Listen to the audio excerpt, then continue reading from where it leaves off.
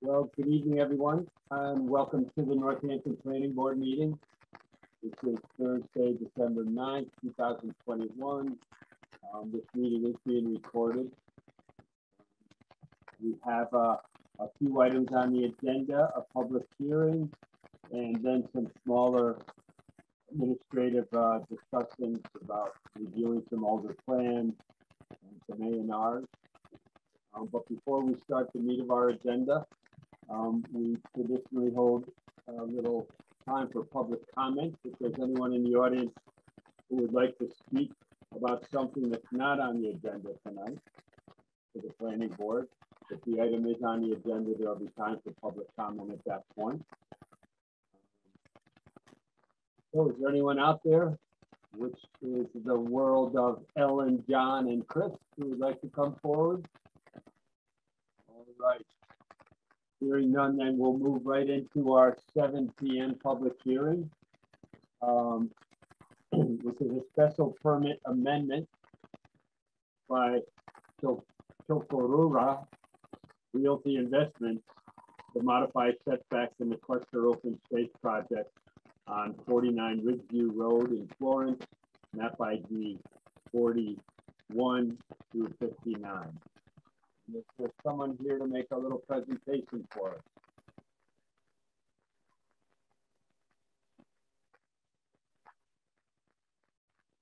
Um, so um, I don't, is Chris, is that um, Chris three? Is that the applicant? Can unmute. Um, hmm. Hi guys. Hi. Hear me now? All right.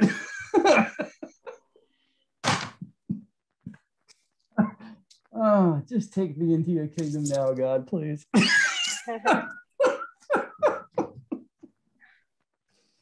Good evening, Um, folks. I am the seven o'clock meeting. Um, thanks for thanks. Thanks for meeting me tonight. So I am very simply just requesting a special permit under the 2015 special permit that was granted back in 15 under cluster developments. I got a real nice house at 49 Ridgeview in Northampton. Make a long story short, it's supposed to be 30 feet off the road. It's 26.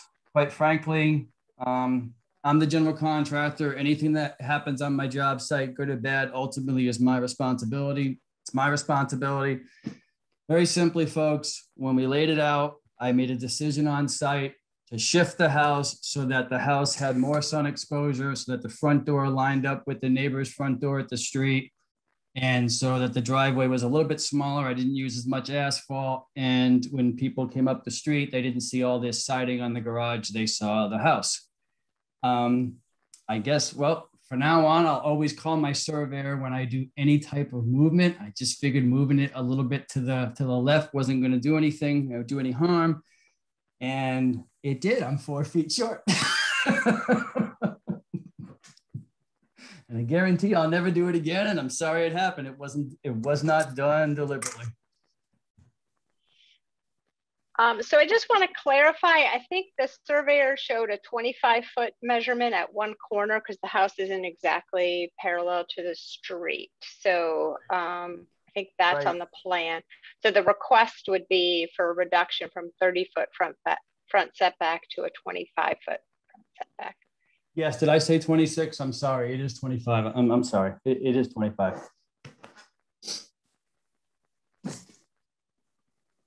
Carolyn, how did this come to our attention or to the applicant's attention?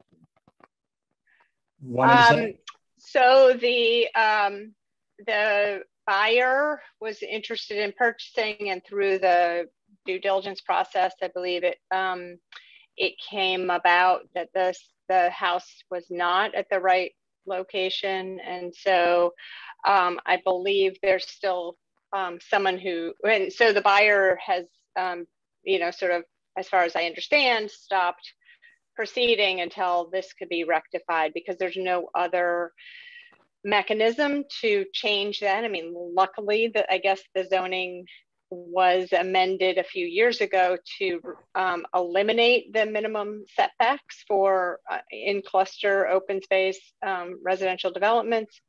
So um, if the zoning had not been changed, there would have been no recourse um, other than a request for a variance, but it doesn't qualify for the request for variance. So um, that's why they're in front of the planning board because the 30 foot front setback is no longer a current requirement for um, special permit for an open space uh, residential development.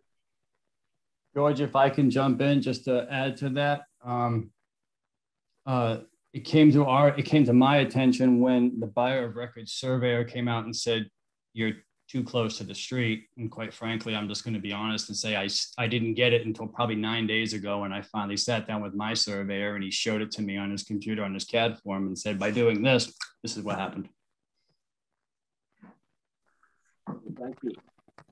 Any questions from board members before we turn it over to the public?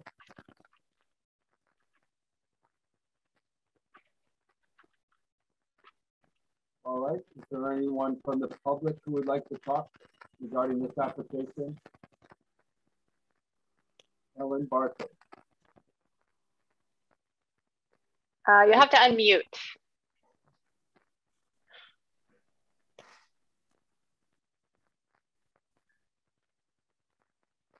Am I unmuted now?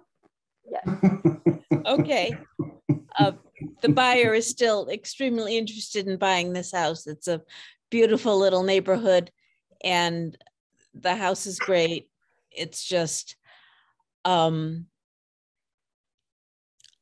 yeah, and you know, at the time that the original permit was was issued for the subdivision back in 2005 before anything was built, the ordinance was different and you know the setbacks. And so under current current ordinance there as i understand it there aren't really subdivision setbacks. So it complies under current ordinance. And that's what we're hoping that that um you know that it will be approved and she'll be able to buy it. Thank you any other comments from the audience?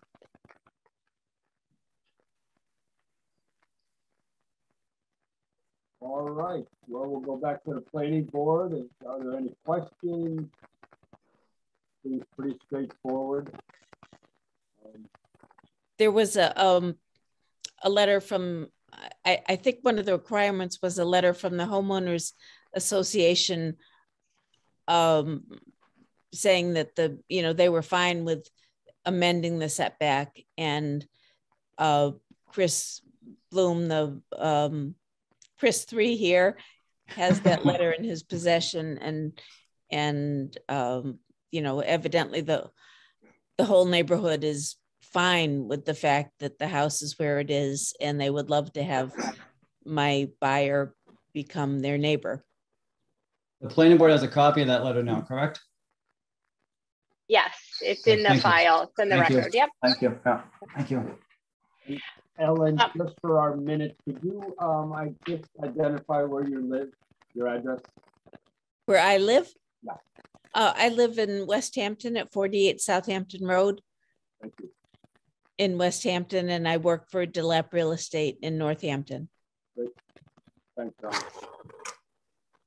Carolyn? Uh, I would, yeah, I would just like to clarify for the board. I think, um, you know, there's there are a couple ways you could do it. You could amend the special permit that's just applicable to this property, or you could amend the special permit to state that all the front setbacks are uniformly modified to a 25 foot minimum.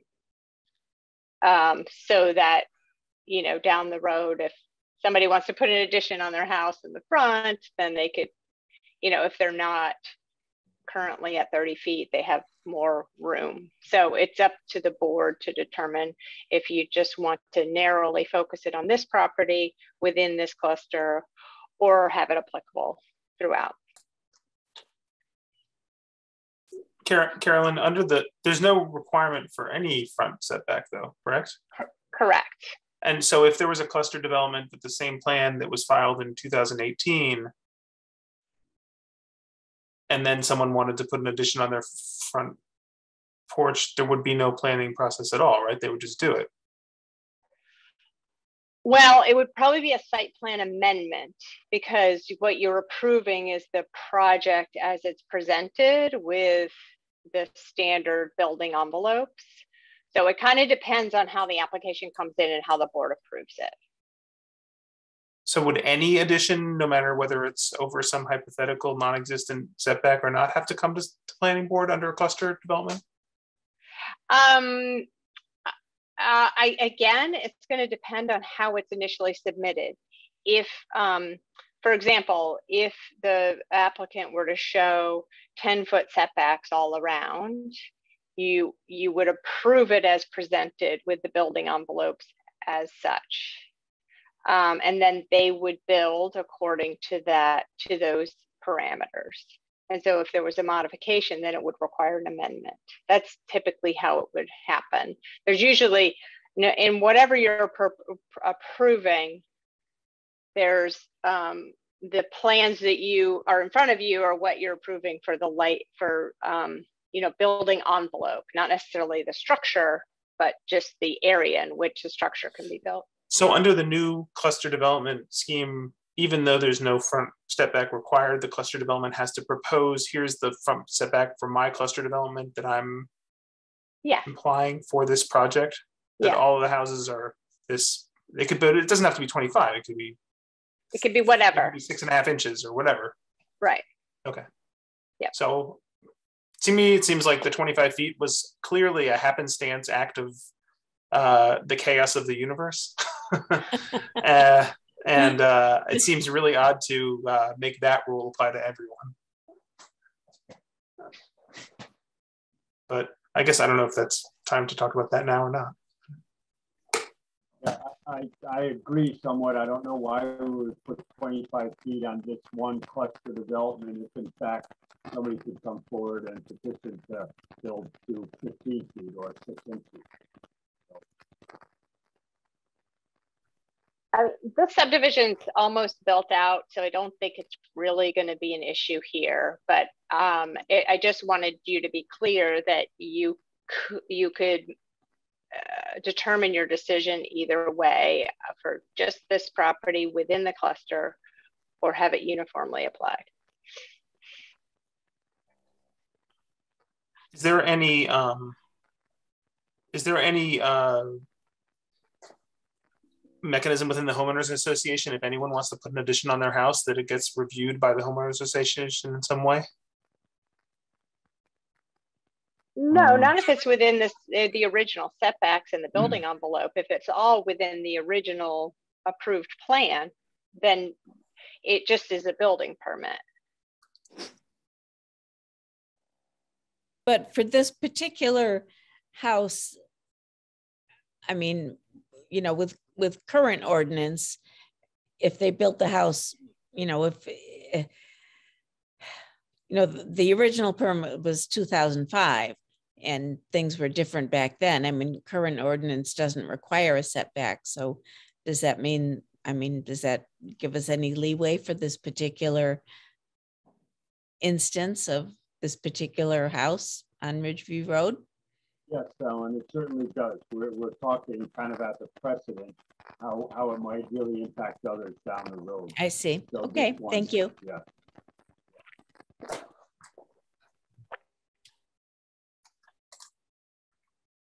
Um, other people on, other board members, leaning one way or the other as to have our motion just speak to this one house lot or to grant the uh, release to all of the houses in this subdivision. I would lean towards doing it uniformly. So there isn't just one lot that has, you know, special privileges. I don't, like David was saying, 25 just seems to be a random number that got pulled out of the hat. So, you know, we love to talk about, well, how did we decide on this number versus some other number? But um, I don't really care what the number is, honestly. I just think it should apply to all lots.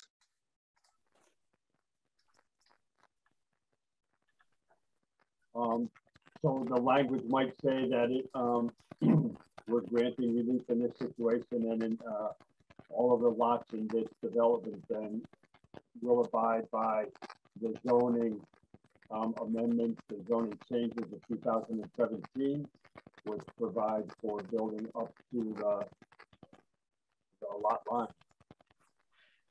Well, what's in front of you is a request for the 25 feet, but the that can only come before you because currently there's no minimum front setback.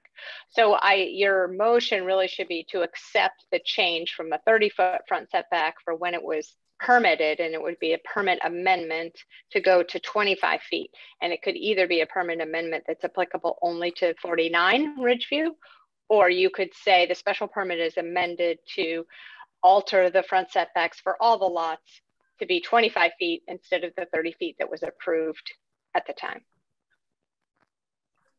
I, I don't see why we should be limited to those two options, honestly. There's no, there's nothing in the ordinance that provides any front setback. Why couldn't we say there's no front setback for any of these lots? I see what you're saying. Yes, you could do that. Right. Yes.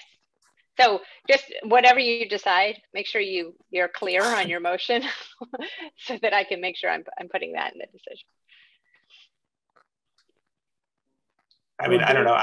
It's hard. There's no clear, like, obvious choice. I would just say uh, the nature of a cluster development is to have a little bit of density and a lot of open space, right? I mean, that's the sort of philosophy of it. So yep. if you pick, I don't know, I mean, just pick a URA, you know, which is kind of something like a neighborhood that we're trying to make within an open space, you know, that has a 20 foot setback. I would do something like that, you know.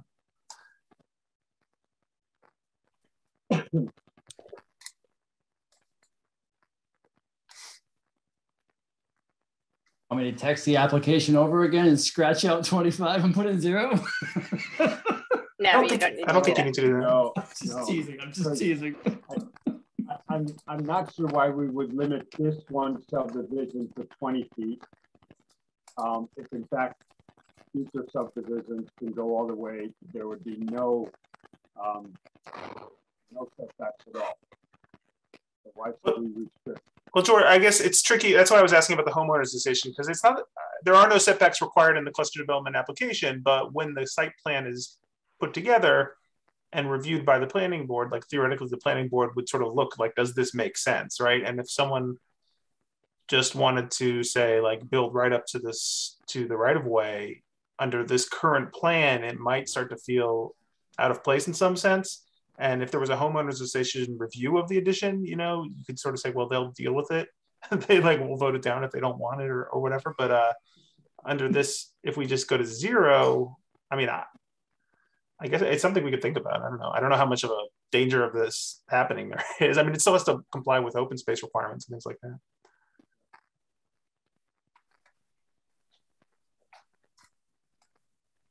Well, there is a lot of open space around this particular development. There's lots of conservation land. I don't know that anyone's planning to build an addition or, or whatever, but, um, I, I don't think, I think there's, there's one flag lot that remains to be built on, but everything else is already there, Thanks, Helen. if that makes a difference. Right. It's quite unlikely that someone's going to put a new guest bedroom between their house and the street, right? I'm fine with George. Yeah. Carolyn, that was going to be my question. You said this is mostly built out, but we just heard from um, Ellen that there's at least one lot that isn't built out. That's my only question about just throwing it wide open is that would this then open it up that all of the other houses have a 30 foot setback, this house has 25, and then the final house has zero. If it's a flag lot, that's not, well, I It's- guess it would still be an lot. issue, but it's not going to show up anyway. But Carolyn, can you just talk, is that the only lot that's um, remaining to be developed here? Um, I believe so. And the flag lot standards are different anyway. They're not part of the cluster. So you don't have to worry about that one. Okay. Yeah, everything else is built out. It's a real cute neighborhood, you know, with a lot of landscaping and, and, um, you know, this house is gonna be really nice once my buyer gets in there and Thank you. Thank you, Ellen. We appreciate the perspective from a realtor. Uh, They're all cute neighborhoods. Okay, Um, I'll stop. All right. Who, uh? I'd like to make a motion Please do. to close public comment. Okay, I second. motion seconded. Any discussion on the motion? All right, we have enough information from the applicant and uh, participants, so we have to have a, a roll call vote on the motion to close the public hearing. Melissa Yes. and uh, Cor- Corinne, Yes. Marissa, Yes. Chris, Yes. Krista, Yes. David, Yes. Jana, Yes. hello, Sam Taylor. Yes. And the chair votes to close public hearing also, so it's unanimous. Thank you. Thank you very much, folks. No, we just closed the public hearing, Chris. We didn't vote on the uh, application yet. So that's our next vote. Oh, Don't, don't leave us yet. Okay. Um, so I'm, I'm happy just to stick with the language of the application from 30 to 25 feet. We could make that uh, remain to the whole subdivision, which is fine. Um, I'm sure if other people wanted to go beyond that, they could find another way to do it through the ZBA or something else, but if that's clear and concise for this subdivision, let's kind of stick to that. Anybody want to try that in language?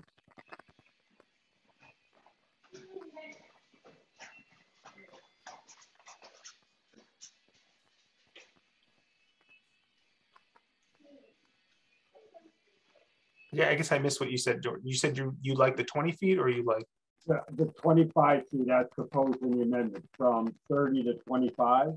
And so that the other residents would have the availability to go to twenty-five also. Sure, I, I move we uh, change the required front setback to the, the, the minimum front setback to 25 feet in this cluster development. I second. Any discussion? Nope, all right. So the motion's been made and seconded. We'll go to a vote for it again. Uh, Melissa Yes.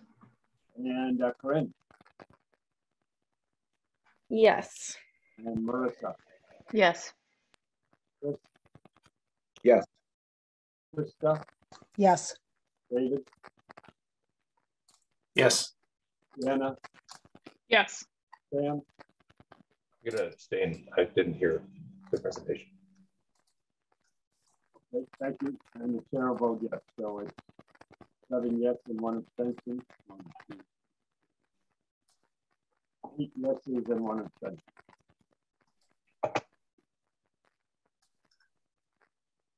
Well, thank you very much, Ellen, for joining us, and Chris, good luck on your next project.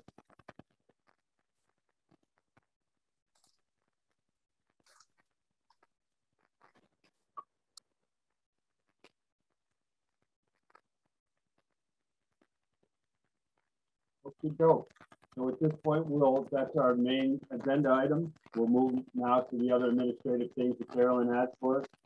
What would you like to start with, Carolyn? um, I guess what's the next one? Big Y. We can do the lighting. We don't have any A and Rs, so it's just going to be the Big Y lighting to close out of Beaverbrook and minutes. So um, I forwarded you the as-built plans that uh, the Big Y sent. Um, do you want me to put those on the screen or um, are you guys um, all set with that? Basically, there are a couple of hot spots under the canopy that were just over 17 foot candles. You would approve the plans at about 16 foot candles.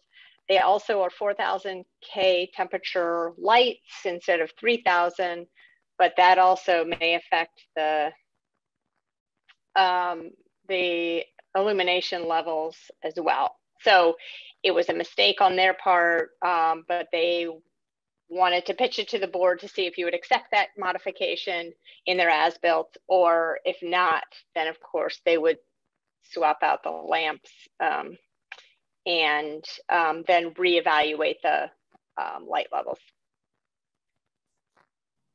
Can I uh, this is slightly disconnected to, the, to this.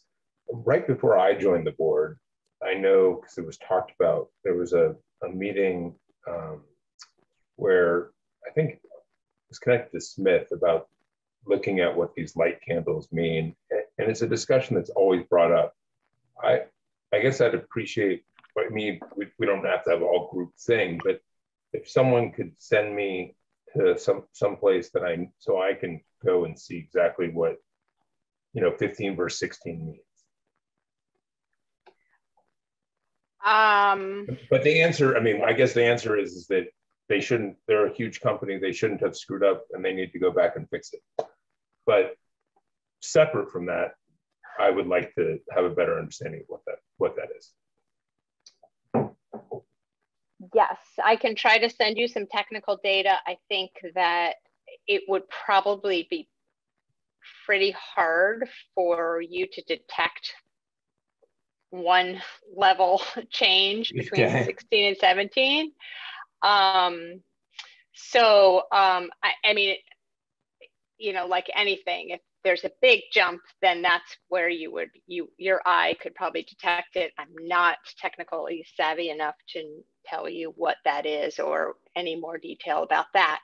But I can, we can also, we're, we're going to be having a more technical detailed discussion about lighting because we have we have to amend our ordinance and um, we have a draft that's been floating around but um, uh, I haven't it's not quite ready to come forward again but I'm sure we'll be having those technical details um, discussions um, at that time as well. I mean, I'm just curious why they didn't accidentally make a mistake and go one lower. Well, actually, just to also um, confirm, those lights are on a dimmer. Um, so they can actually tweak it now and bring them lower. The problem with the dimmer, of course, is whoever's in control of the dimmer can ratchet it back up again. No way. So, so, you know, there is a solution to the light levels, not the temperature control eh, without swapping out the lamp. Um, but those two are also um, a bit related. So, you know, they're two, they're two um, areas in which they're not complying to the plan that they presented. And so you, you all should just determine whether or not um, you want them to address that either through dimming or through swapping out the lamps and then coming back with another as-built. I'd be in favor of them swapping out the lights. I don't think we could ever notice a foot candle or two, but you know, the, the color temperature we will notice. Um, and we did specify 3000. So um, I know it's a bummer, but that would be my vote.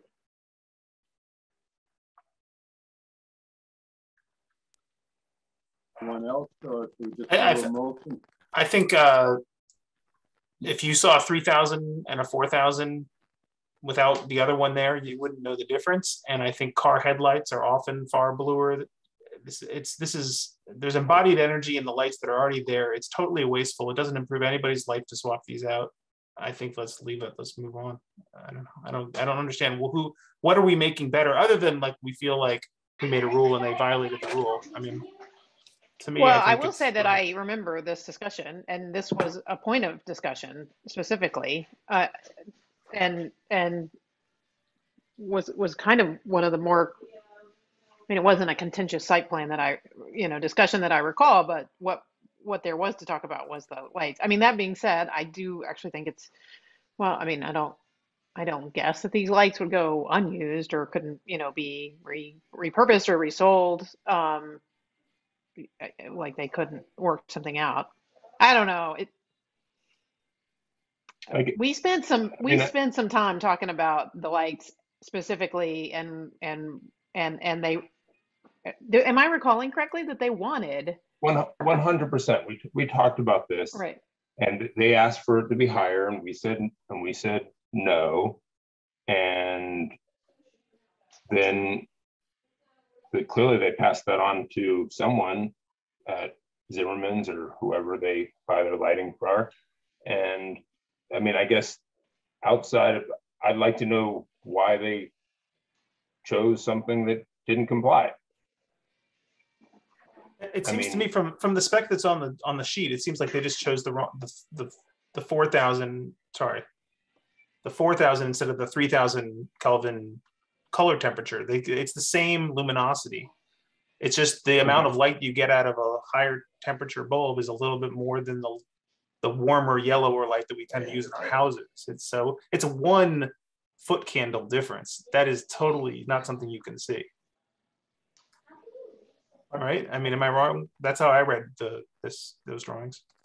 Right, but if we have standards for a certain amount of foot candles, But they can just use the dimmer. but again, the dimmer, I think, and I never knew you could use a dimmer on such high output lamp posts across that much of a range. And again, if we give them the- the dimmer option, um, who knows if they'll manipulate that as time goes on even higher. I don't, I think what we're saying here is with the three thousand color, they won't be able to dim beyond, they won't be able to raise that dimmer to move it beyond the specified luminosity from the two Can, can I, can I ask, like, I mean, I, I one hundred percent agree, because waste, you know, taking something out and wasting it, I mean, it- it's obnoxious they did this, is like, um, I, I'm thinking about like a, a, you know, like a, uh, an apartment building where, you know, we provide the heat and, you know, the thermostats are under a box with a key. So you can't mess with them. I mean, could we just have them do it and there's an there's a its own there's a different on off switch separate from the dimmer and they just set it where it should be and and put a box over it and call it a day. So I just want to say that you could, so there has been a lot of discussion and particularly from other experts in the field about the color temperature and the impacts to uh, wildlife, to the community, to dark sky. And so dropping down below 3000 has been sort of the recommended position. It's not in the zoning yet, but it's in the draft because we've had this discussion. So now you guys have been in the position of requiring that as a permit condition. So that's a separate conversation from dimming the lights because it'll still be a bluer or cooler light than um, what was permitted. So I just want to make sure you're clear about that, um, those distinctions. So then maybe when we have the discussion about lighting down the road, there should be a little discussion around the ability to dim lights. And dimming is always seen in uh, kind of a lowering kind of phase, but of course you can dim upwards also. Um, so I mean, you they do have dimmers that you know when you program the dimmers, you can program the ceiling and floor of how much it dims. I mean, I don't know what Yeah. they didn't give us their submittal or shop drawings for their their control system, so we have no way of knowing. I mean, it just seems I don't know. To me, it's just the color Well, temperature, as you said, is not in the zoning. It happened to be what they submitted, but we don't have an ordinance on on color temperature. Carolyn, I hear what you're saying about like there's science about warm versus cool light, but that is th- those studies do not address 3000 versus 4000. They look at like 2700 to 5000. You cannot tell the difference honestly unless you have them next to each other of 3000 versus 4000. They're both on the warmish side. Uh, I just and and again, they're surrounded by headlights that are at 4000, 5000 that are much cooler. Like there's gonna be semi trucks with like huge halogen bulbs. Like I, mean, I don't know. It's again like whose life are we improving with this? I think it's not really about the lights. It sounds like if we want to stick to previous conversations that you've had on the board, or if you want to change what you previously said. Like, if there's not a big visual difference in the light, I- I don't think we need to argue about it. But again, if our previous applicant came in and said, whoops, I made a mistake. And, it was a pretty, a pretty big mistake. You know, it wasn't huge, it wasn't life altering, but whoops. And Big Y is basically saying the same thing, whoops, pardon me, grant me, uh, absolution after the fact, but um, we bought the wrong ball. Can you help us out here? Um, and, and I think if we specify something in our plans and we sign off on them and their engineers sign off on them, then they, they can stay to that. There's a lot of things. If it happens to say that a sign is red on our plans and we approve them and then the sign is orange, we don't say, hey, you said it was red, go change it. Well, that's a big I- I- difference from, uh, your setback is twenty-five feet and your setback is thirty feet if you're in abutter. Um, you know, and, and I, and I'm Right, not but trying to compare. We're the approving the parts of it that are in the ordinance that like the planning, the zoning ordinance regulates. We're not. I don't think just because something's on the plans, like there's lots of things that are on the plans that we review that don't get built that way. I just, I So don't David, I guess the what I'm asking- I know there's a big discussion about the foot candles for the plan. I don't remember if color temperature was discussed or not. So are we holding them to, it was just what was specified at the time. Did we have a big discussion about color temperature for this plan? I don't recall it. I don't remember. I, um, I can tell you that every time an applicant comes in from the staff level, we tell them that the board has consistently approved 3000 K because of the warmer light is meets, um, you know, goals that are not, uh, in, in terms of being friendlier to and less impact on, um, the night sky. And so, it's not been codified, but because you have the ability to impose conditions, that's how the board has um, um, required these. And so we tell applicants up front that that's the standard. So that's why they presented a 3000K. They had no problem with doing it because of what we asked them to do. It wasn't a condition we imposed, though. We didn't say the light shall be 3000 K. It was just what was on the plan. Correct. But if they install the four thousand K lights and they go around with a light meter and have an engineer reevaluate the lights, they're gonna be above what we um, discussed earlier in their first application, correct? So Right. There, So- there's there's some risk that they could swap it out for the other temperature lights, and it would still be one foot candle above what we said. Honestly, like I I mean, I don't think there's any way of saying just because that's what was spec that that's what it ends up. That that that was a computer model that we approved. I'm, I- I'm amazed I'm- it was that accurate, to be honest with you. That's pretty good. The condition of the permit was really just that they had to submit it as a lighting as built showing that they had said what they were gonna install on the plan. So, I, I- I think, I mean, I, I, I guess I've changed what I initially, what I initially said. It just seemed like, I, I guess it seems to me like we should say yes with the condition that they put in a, a, a, a, a dimmer that has limits. And if that's too difficult, then they can come back and ask us.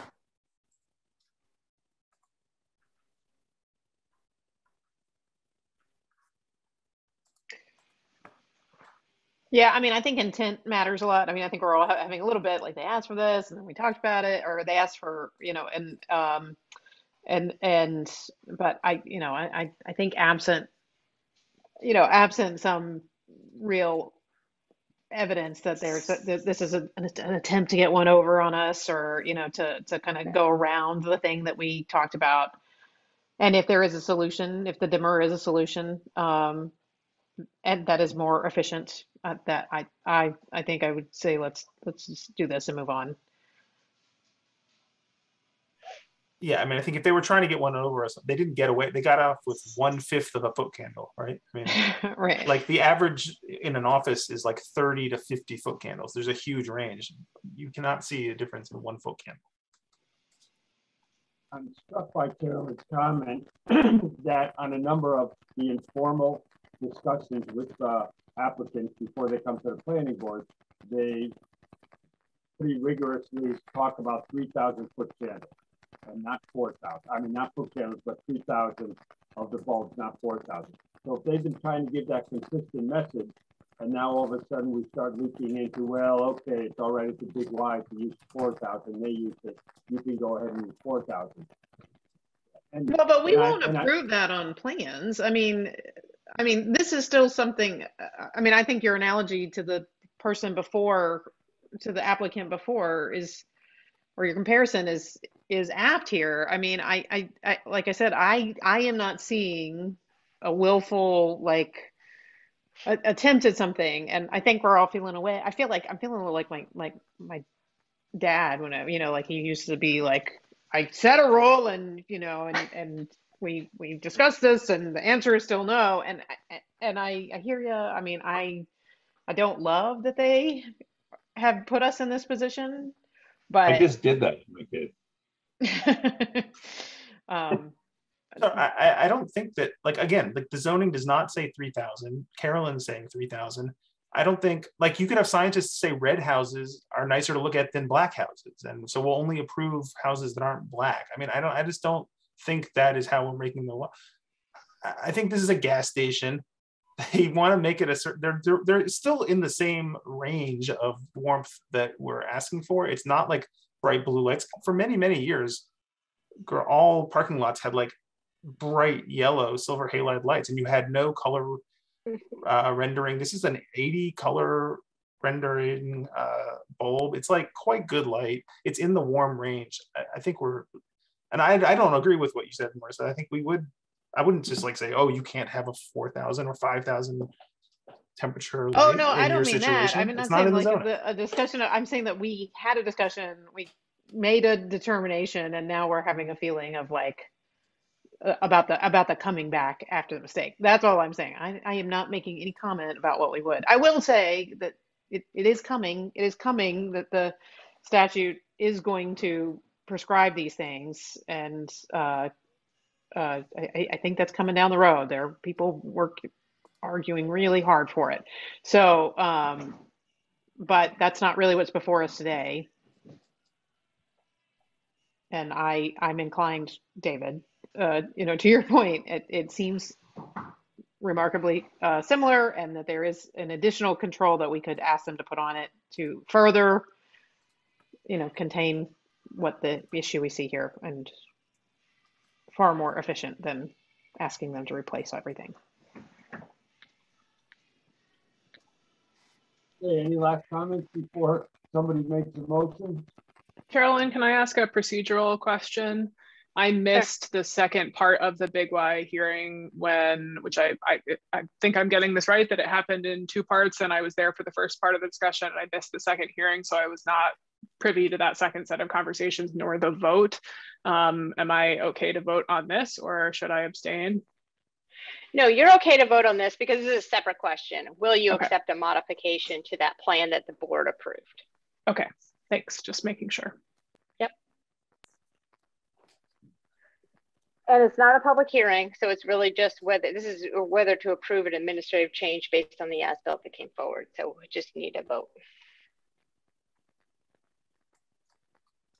Uh, I would move that we uh, approve the amendment um, to the original Big Y um, uh, permit to um, allow the lighting as built as opposed to what was in the uh, original plan. Is that with the dimmer or no? With a, yeah, I would, I would say the, with the dimmer. Second, Any discussion? But was the dimmer language in their request, Carolyn? I mean, they have the dimmer, it's currently in place, right? So. Right, they just Right. verbally told me that they do have the lights on a dimmer, so they could adjust it with a dimmer to bring the foot candles down. we asked them to have someone with a little paddle so if someone reaches for the dimmer they we slap their hands One hundred percent. I actually just looked back at their their application shows 17 foot candles on the original application in places. So whatever. I agree with I, I vote yes. As long as soon as we vote, I'll vote yes. So, okay, the, uh, motion's been made and seconded. Any other discussion? All right, we'll go to voice vote, voice vote then. Let's start with Sam. Yes. Sienna, Yes. Krista, Yes. David, Yes. Chris, Yes. Marissa, Yes. Bryn, Yes. and Melissa, Yes. and George. So I'm gonna be the odd man out and vote against this uh, modification. I think So stick to what we have. contrary. Yeah, once in a while, I think one of us, we have so many unanimous votes, but I, I really think we should uh, stick to it. So that being said, the uh, modification passes uh, by an eight to one motion, eight to one vote. Okay, so where does that leave us? Just with minutes? Oh, Uh, wait, before- Beaverbrook, before we go there, Sam, back to your original question. About 15 years ago, uh, the planning board went on a little site visit at night. The building inspector lent us a light meter, and I, I'm sure they're much more sophisticated now. And we went to a few different locations on King Street, and then we could see kind of what the light meter read, 15, 16 foot candles Yeah. at one spot and at another.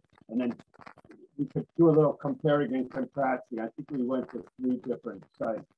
Um, that, that might be an opportunity for us too. Um, just to see a low level, a low level, um, site and more of a high level, high traffic site. Um, it might give us some kind of grounding for those Um, future discussions. I also want to just point out that LEDs naturally dim over time. Like they don't let the they're when they're first installed. Like the a lighting engine, a lighting designer does not engineer to the lighting as it's the day it's installed. They engineer to like a year or two out because they all dim over time. And if there's a rating, I don't know what this one has, but like there's a rating that like over 10 years it's at 70. It's a it's a lot of dimming, like the maximum brightness. So it's like 70% after a few years uh, Oh. seven years. That'll come up when we're paying for new uh, streetlights uh, in the city in a few years. So.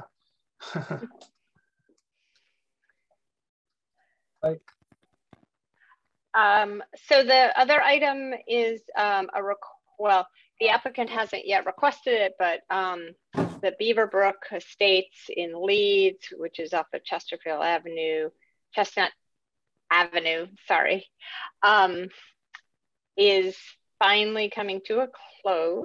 Uh, we, the city had held back um, $40,000 escrow to complete the project. The last little bit that had to be done was submission of as-built for stormwater.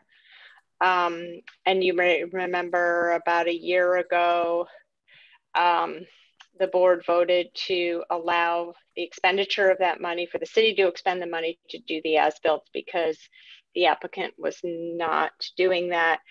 Um, and council also approved the expenditure of the funds, but uh, the city has not expended the funds because the applicant stepped up and has proceeded to finalize this project. So as a result, we've just gotten sign off from DPW that the stormwater system is complete.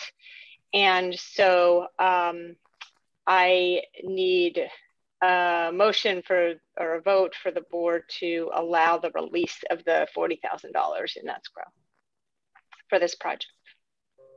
Carolyn, can I ask a question? Sure.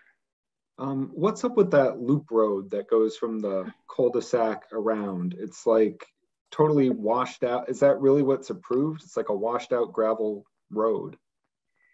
Well, it was a, a gravel road. It's a private, it's a gravel driveway. So it's a shared driveway to serve um, six lots um, and it's looped so that it can serve six lots instead of just three. Um, and so it's uh, the owners association has to maintain it. So it's been there for a long time. So it probably is ready for some maintenance. Okay, thank you.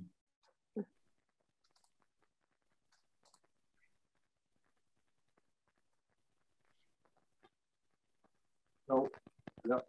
So it says here in the, in the letter that the uh, DPW approves the request to amend the stormwater management permit to allow the loop road to be impervious. So it sounds like they will pave that loop road. I understand that. Right, it's gravel and trap rock a pervious surface surface. Right. So they wanted to, after it was installed, they wanted, they put some more impervious materials on and gradually over time, but now they've shown through the stormwater calculations that in fact they are making up for that um, change in pervious surface. So it may very well be that they can they pave it and that would be fine. You know, just a quick comment. I think we're, we're pretty fortunate in the city. This is a development that kind of went a little bit awry early on and it's been a, a contentious for a while, but most subdivisions, you know, are, are really are up to snuff in terms of maintaining their stormwater permits and getting all their engineers signed off. This is kind of unusual, which is not a good thing, but uh, certainly points to some of the better construction that happens in the city. Um, any discussion at all?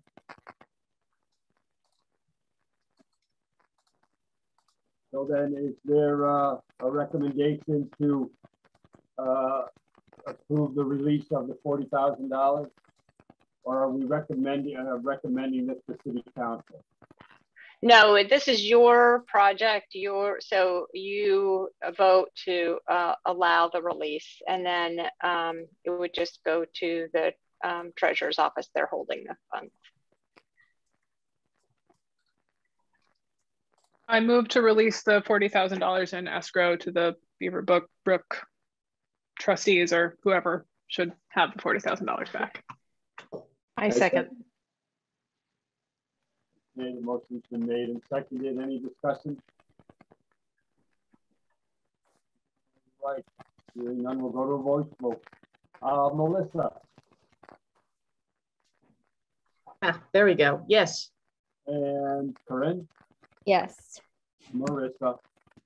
Yes.